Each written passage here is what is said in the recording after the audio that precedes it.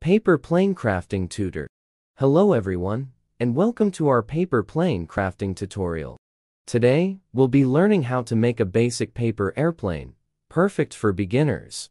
So, grab some paper, a pencil, and let's get started. Step 1. Choose your paper. Select a paper that is thin, flexible, and easy to handle. Ideally, you want a paper that is made for origami, such as printer paper or art paper. Step 2. Fold the paper in half. Place the paper in front of you, with the crease down. Fold the paper in half lengthwise, crease lines down the center. Don't worry if the paper is a bit uneven, it's okay. Step 3. Fold in the top corners.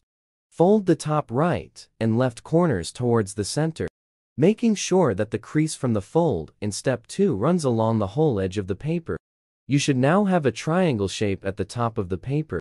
Step 4. Fold the top edges to the center. Fold the top edges of the triangle, both the right and the left sides, down to the center. Make sure that the edges are aligned with the center crease. Step 5. Form the wings. Now, fold the airplane in half along the center crease, with all the folds on the outside. Make sure that the wings are symmetrical on both sides. Step 6. Create wing flaps. If desired, fold the bottom edge of each wing upward to create flaps. This adds stability to the flight of the plane. Step 7. Final adjustments. Check your paper airplane for any imperfections. And make any necessary adjustments to the wings and flaps. That's it. You now know how to make a basic paper airplane. Keep practicing and experimenting with different folding techniques to improve your skills.